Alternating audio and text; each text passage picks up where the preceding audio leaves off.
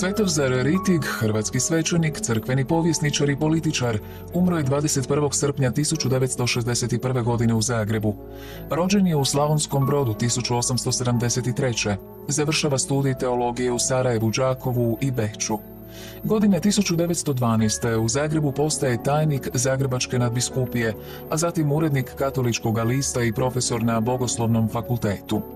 Političku djelatnost počeo je 1908. kao zastupnik Hrvatske stranke prava u Hrvatskom saboru.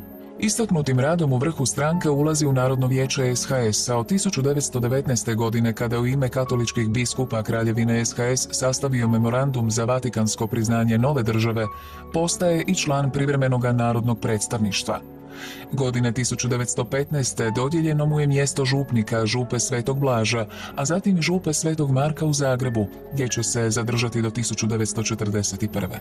Osnutkom nezavisne države Hrvatske povlači se u mjesto Selca na Braču, odakle je stupio u kontakt s predstavnicima antifašističkog pokreta koji će Ritigovo zagovaranje o zajedništva jugoslavenskih zemalja smatrati vrlo poželjnim.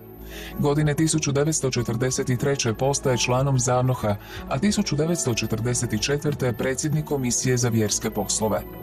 Godinu poslije izabran je u Ustavotvornu skupštinu, a zatim u Saveznu skupštinu i Hrvatski sabor, što mu je omogućilo da kao član jugoslavenske delegacije sudjeluje na mirovnoj konferenciji u Parizu 1946. Radove iz crkvene povijesti, posebice one o povijesnim i pravnim problemima slavenskog bogoslužja, objavljivao je u bogoslovnoj smotri i katoličkom listu, koje je sintetizirao u dijelu Povijest i pravo slovenštine u crkvenom bogoslužju sa osobitim obzirom na Hrvatsku.